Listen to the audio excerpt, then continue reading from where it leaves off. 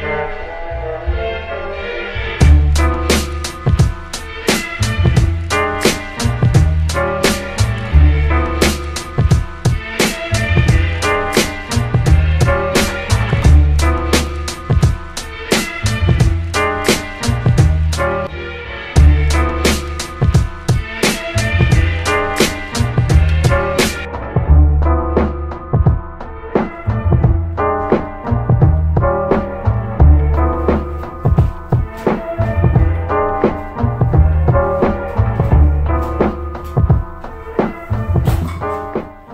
Yo, what is good, YouTube? It's your boy, Golden Bari, back with another video here.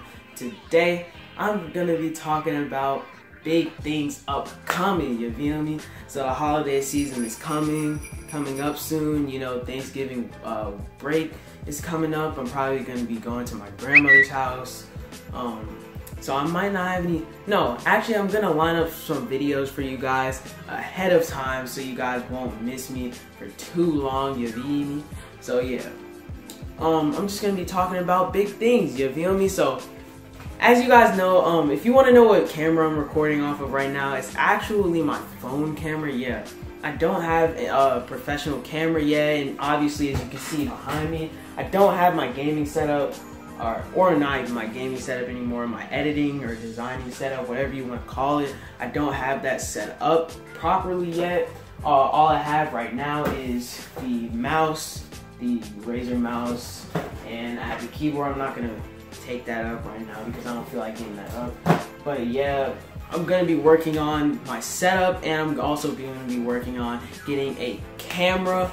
The camera that I'm thinking of is the Sony a6000 and yes, that camera is very, very nice, very good for vlogging. I was gonna get the Canon G7X at first, but I've looked at some uh, speculations, some things about the Canon G7X. I really don't kind of like it because you can't switch the lens, so you can't really switch like how much of a blur you want in the background.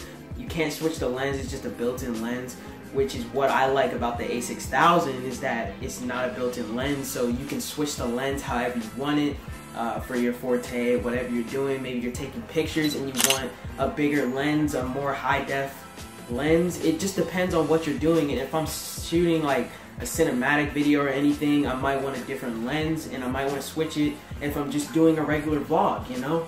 So I want to be able to have that option where I can switch the lens rather than having a built-in lens that I'm stuck with for the rest of my YouTube career.